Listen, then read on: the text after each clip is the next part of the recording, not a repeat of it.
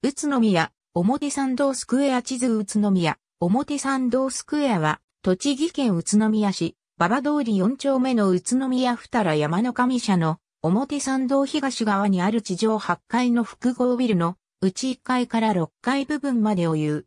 かつての上野百貨店本館跡地を含む地区に2007年7月31日開業した。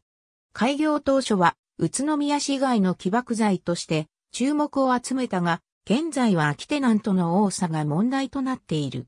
延べ床面積は24,680平方メートルで、用途は商業、公共交易、オフィス、駐車場等となっている。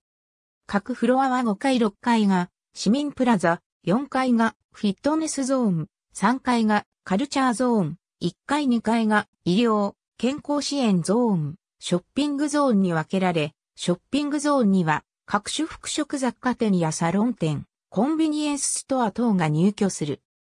2020年の新型コロナウイルス感染症の日本での流行を受け、宮野市実行委員会は、同会が主催する宮野市が中止になった代わりの事業として宇都宮、表参道スクエア1階に、木船大明神と称する神社を期間限定で設置した。木船大明神は、木船の木型と張り子をご神体としている。木船とは、宇都宮市に伝わる無病息災の縁起物であり、コロナウイルスの収束への願いが込められるようになった。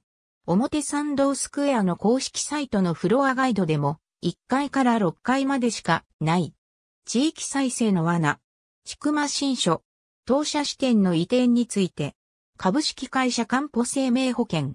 2019年2月5日閲覧。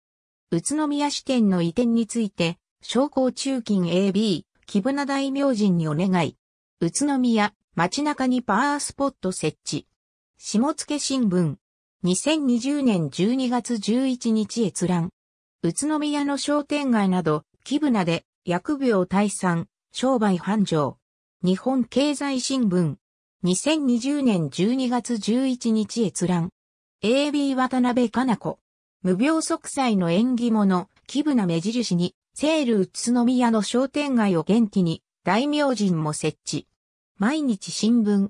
2020年12月11日閲覧。ありがとうございます。